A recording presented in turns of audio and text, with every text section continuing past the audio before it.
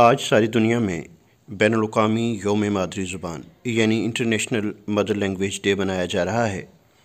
ये दिन हर साल 21 फरवरी को इसलिए बनाया जाता है ताकि दुनिया भर में बोली जाने वाली हज़ारों ज़ुबानों और बोलियों के फ़रोग, उनकी तरवीज व इशात की बात की जा सके, क्योंकि कोई भी ज़बान, किसी भी कौम, कबीले या मुल्क की पहचान आइडेंटिटी होती है।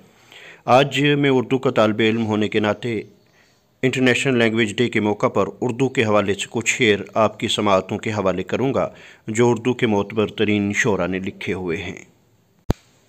इंटरनेशनल मदर लैंग्वेज डे के मौका पर पेश हैं ये शेर। हम हैं तहज़ीब के अलम बरदार। मोहम्मद अली साहिल, हम हैं तहज़ीब के अलम बरदार। हमको उर्दू ज़बान आती है। मुनीश शुक्ला का ये शेर देखिए कि बात करने का हसी तौर तरीका सीखा। बात करने का हसी तौर तरीका सीखा।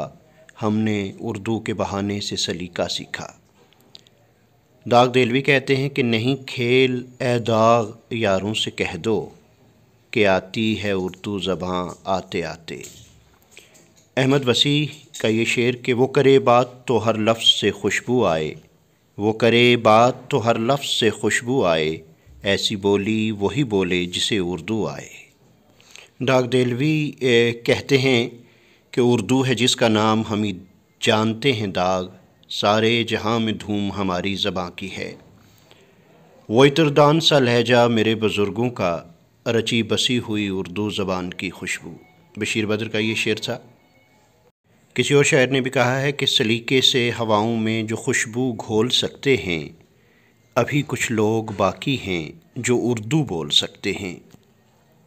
रवीश सिद्दीकी कहते हैं, उर्दू जिसे कहते हैं, तहज़ीब का चश्मा है। वो शख्स महज़ब है, जिसको ये ज़बाँ आई। अनवर मसूद साहब अपने तंजिया लहजे में कहते हो, कहते हैं कि उर्दू से हो क्यों बेजार? इंग्लिश से क्यों इतना प्यार? छोड़ो भी ये रट्टा यार, ट्विंकल ट्विंकल, लिटिल स्टार।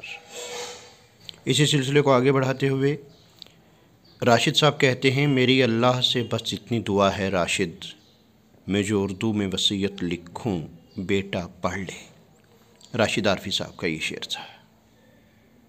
मौलाना अलताफ़ अल्ताफ़ सिंहाली ने भी कहा था कि शहद शक्कर से शीरी, उर्दू ज़बाँ हमारी, होती है जिसके बोले मीठी ज़बाँ हमारी।